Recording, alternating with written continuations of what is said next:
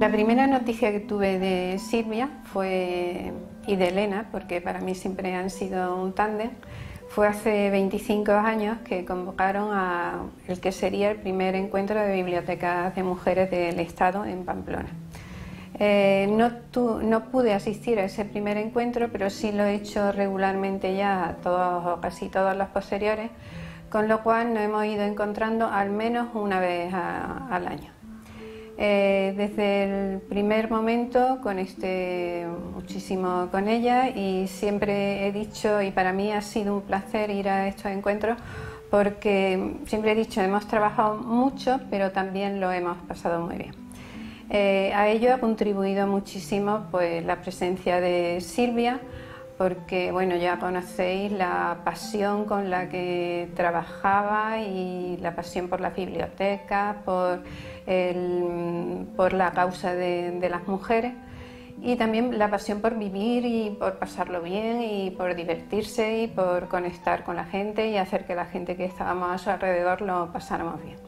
¿Qué, mm, ¿Qué, destacaría yo de Silvia? Pues bueno, aparte de sus labios rojos, esto me lo regaló ella, y lo que le usaba el, agua, su potencia física. Eh, siempre me acuerdo que llegábamos a algún sitio con mar y lo primero que era meterse, meterse al agua.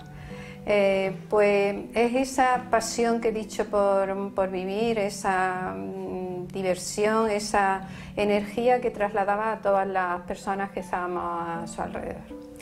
Eh, tengo muchas anécdotas con ella, me lo he pasado muy, muy bien.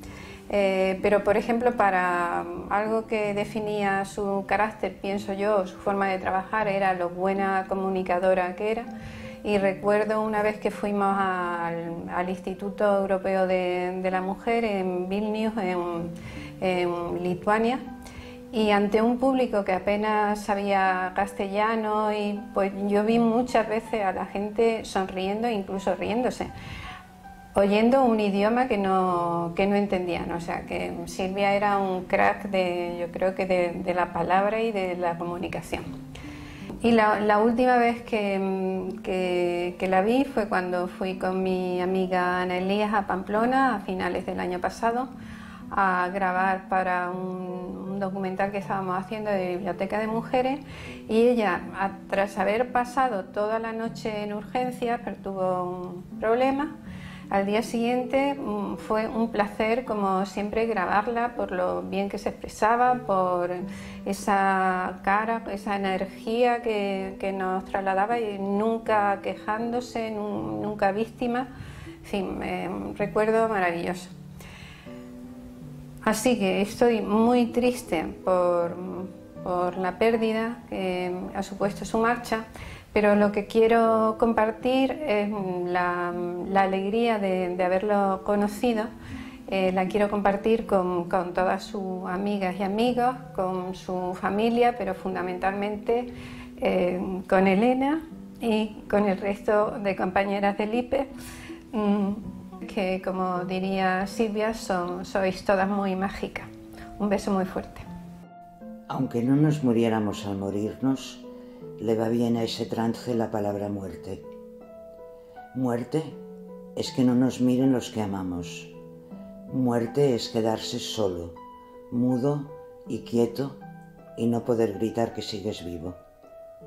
Conocer a Silvia fue como encontrar de nuevo la reivindicación de la fuerza feminista.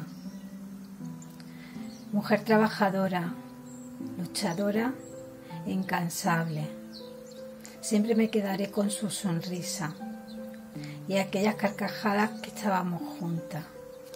Del escritor francés Gustave Flaubert decía un amigo que tenía el alma contagiosa. Y es lo primero que quiero decir de Silvia, que para mí tenía y tiene, porque el alma en cualquiera de sus acepciones es inmortal. Eh, Silvia tenía y tiene el alma contagiosa. Y lo que contagiaba era entusiasmo, energía, valentía.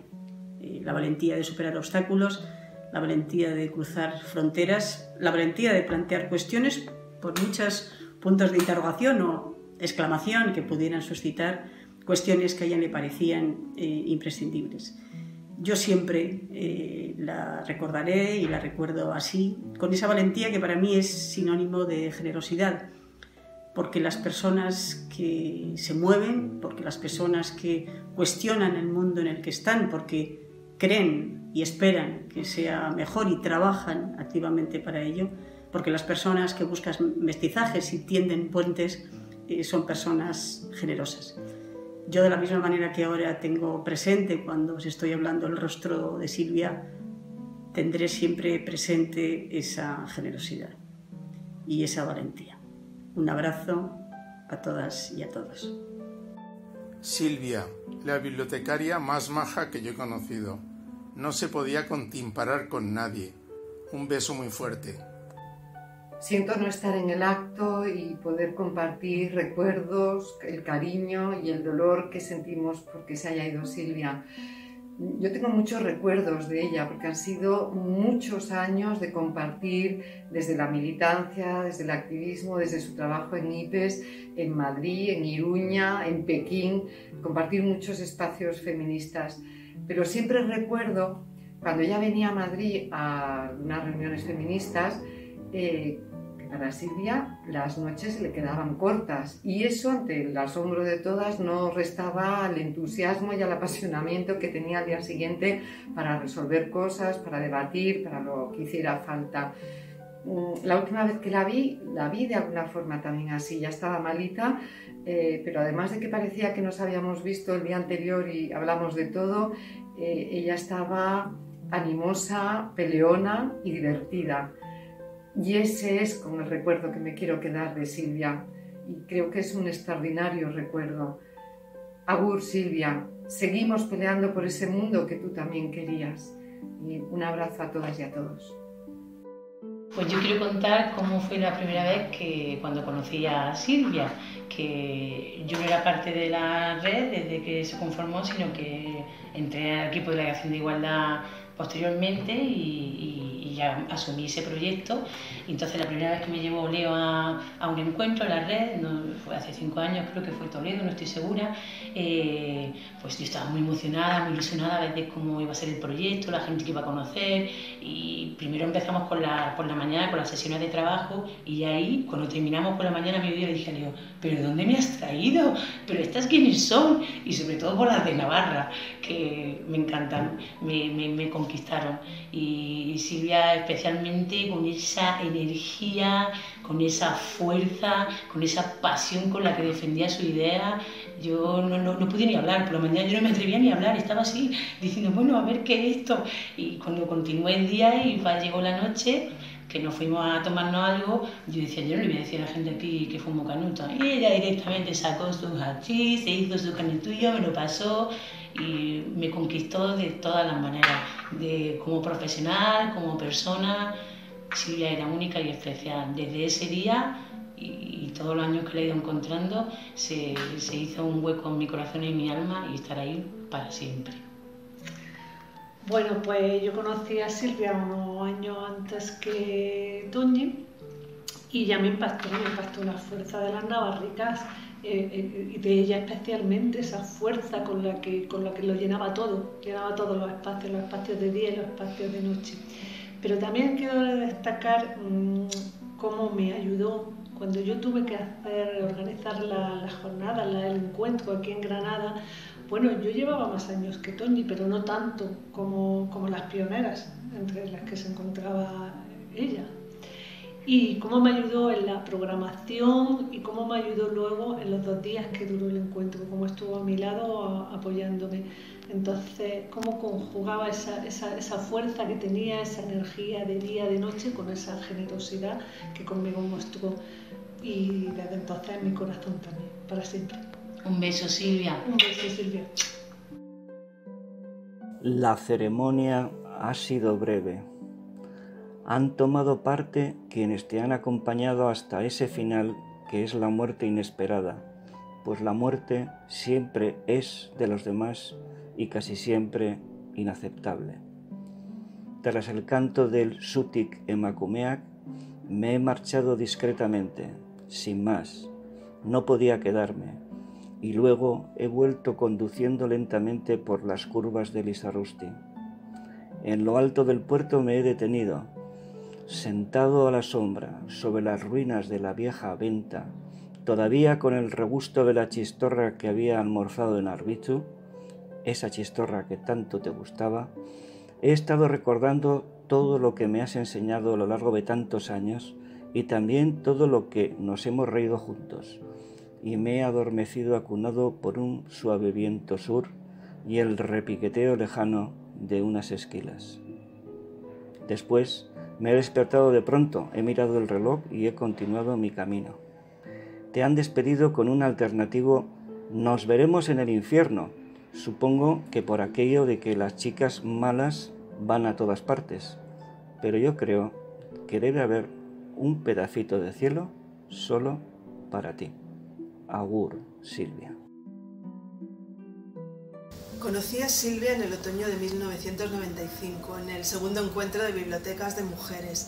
Para mí, que llevaba poquito tiempo trabajando estos temas, mm, fue el despertar a la conciencia feminista, todas aquellas mujeres, aquellas feministas, me impresionaron, y entre ellas Silvia, por supuesto, por, su fuerza, su convicción y aquella vehemencia pasional con que defendía todo aquello en lo que creía.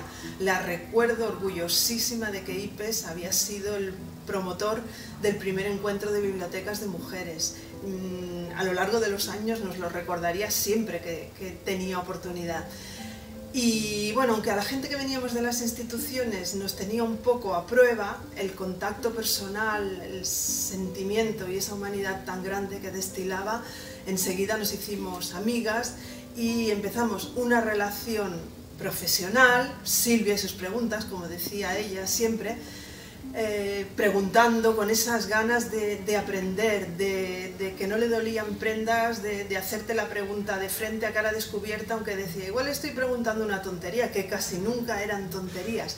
Era capaz de despertarte un domingo por la mañana, bonita, ¿estás durmiendo? Sí, es igual, luego ya duermes, échame una mano que tengo que presentar un proyecto. Y, y bueno, y luego en la fiesta pues también no, hay otra, no había otra como ella. La última vez que la vi fue en Barcelona, en el encuentro de centros de documentación y bibliotecas de mujeres, y la recuerdo estupenda, bebiéndose la vida y, como siempre, capaz de, comerse un buey, beberse un barril de vino, amiga de sus amigas y, un encanto. Os doy las gracias a sus amigas, a las compañeras de IPES, a su familia, por permitirme recordarla y estoy segura que allá donde esté, con ella ha llegado el feminismo y la fiesta. Arracha León. Bueno, estoy encantada de poder estar en este, en este homenaje a Silvia y con vosotras esta, esta tarde. Para mí Silvia representaba la fuerza de la naturaleza, una mujer increíblemente energética, para todo, para el trabajo, para para el disfrute, para, para defender los derechos de las mujeres y las personas. Pero a un nivel más personal, a mí lo que me gustaba de Silvia era su energía vital. Y cada vez que me acuerdo de ella, la verdad es que me sale una sonrisa. Así que disfrutar hoy todas en su día y espero veros pronto. Un abrazo, també ser caravana, aur. Hola, bueno, pues me pedís que hable de Silvia. Pues, ¿qué voy a decir yo de Silvia que no sepáis? Me acordaré de ella siempre eh, los primeros encuentros eh, de bibliotecas que tuvimos de mujeres, la pasión que ponía y, la energía que ponía, que nos tumbaba a todas. Mm, la recuerdo haciendo anfitriona, eh, comiendo los bocatas por Pamplón. después de los primeros encuentros compartimos muchos encuentros más y mm, creamos, llegamos a conseguir crear una pequeña familia eh, y esa relación eh, se prolongó más allá de, del estrictamente profesional. Eh, en todas las reuniones que teníamos cada año hay algo que se convirtió en una tradición y era que compartíamos productos autóctonos de, de la tierra. Silvia ponía el pacharán, yo de tierra gallega ponía el orujo o aguardiente, como le llamamos aquí. De Canarias venía el ron. Así que mm, echamos muchas risas. Qué bien lo pasamos, Silvia. Así que va por ti.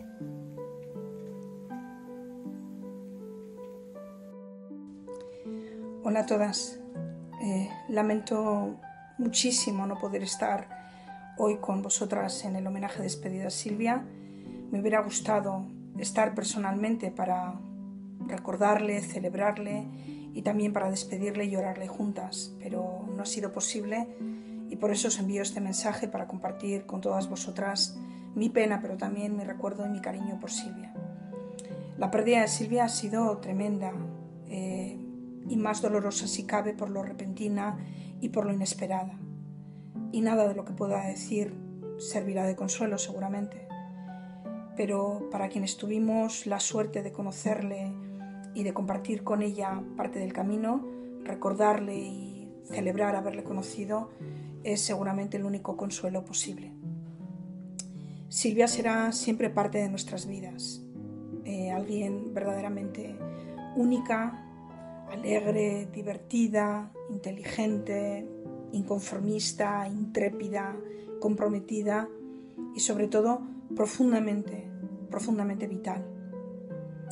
Durante años, Silvia ha sido además una figura imprescindible de todas las batallas que ha merecido la pena batallar en el feminismo, sobre todo, Silvia es una figura absolutamente imprescindible de su historia.